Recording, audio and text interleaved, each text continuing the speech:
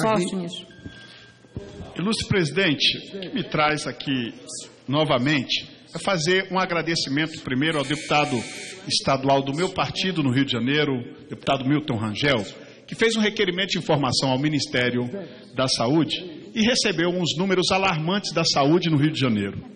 Só para os colegas e o Brasil ter ideia, em 2010 foram realizadas nos nove hospitais federais do Rio de Janeiro 1 milhão e 21 mil 114 consultas. Em 2015, 285 mil e 21.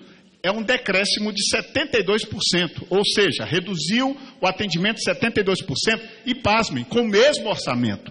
Então eu estou aqui hoje, internações eram 60.916 em 2010.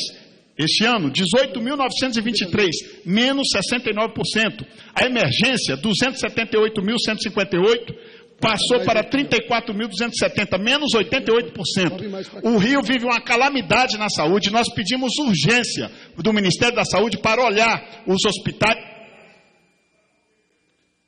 Só para concluir, para um olhar diferenciado do Ministério da Saúde para os hospitais federais do Rio de Janeiro, porque nós não suportamos mais ver pacientes nos corredores, no chão, no piso. Nós precisamos de uma resposta urgente do novo ministro da Saúde com relação à saúde pública no Rio de Janeiro, em especial nos hospitais federais, que não podem ter, com o mesmo orçamento, uma redução dessa magnitude. Nós, no Rio de Janeiro, não aceitamos e nós estamos aqui cobrando do Ministério da Saúde uma resposta imediata à melhoria dos nossos hospitais, que estão sem repasses, que estão com atraso com seus fornecedores e nós não podemos aceitar isso jamais. Muito obrigado, senhora presidente.